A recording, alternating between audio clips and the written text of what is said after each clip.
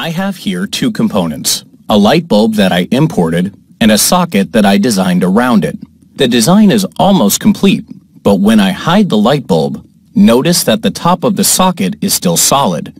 I want the light bulb to be able to screw into the socket, but since it's imported geometry, recreating its threads could be tricky. Instead, I'll use the combine command to cut the exact shape of the light bulb base into the socket.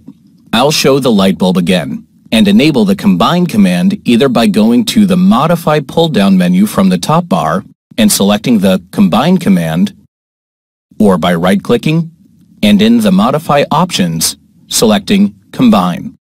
The command itself uses selected bodies and one of three Boolean operations, join, cut, and intersect, to change the geometry of a target body.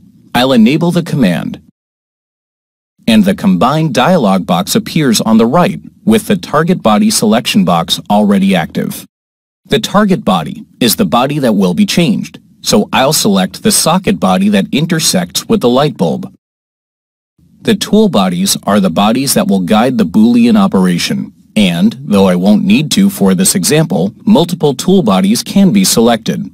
I'll zoom in and select the base body of the light bulb as the only tool body.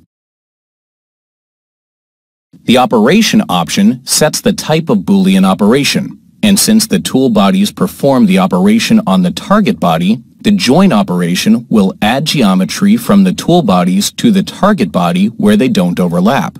The cut operation will remove geometry from the target body wherever the tool bodies overlap it, and the intersect operation will reduce the target body to only the geometry that overlaps with the tool bodies.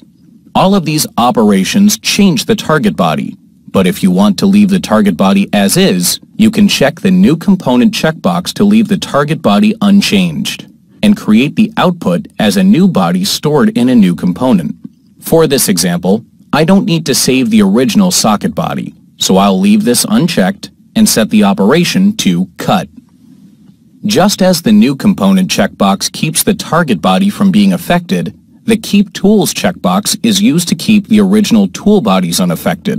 Disabling this checkbox will remove the tool bodies once the command is performed, which can be useful for join or intersect operations. As a general rule, however, I recommend always keeping the bodies in case they need to be referenced later.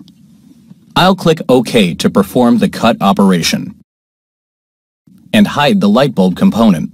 I'll zoom in on the top of the socket, and you can see that the thin base of the light bulb has added a cut into the socket, but the center section still remains. I'll expand the light bulb socket component, and in its Bodies folder, I'll click on Body 1. Since the cut operation completely enclosed the center section, it actually divided the selected body into two separate bodies. Because of that, I can now easily get rid of this body by making the socket component active, so the removal is stored in that component. Then right-click on Body 1 and select Remove.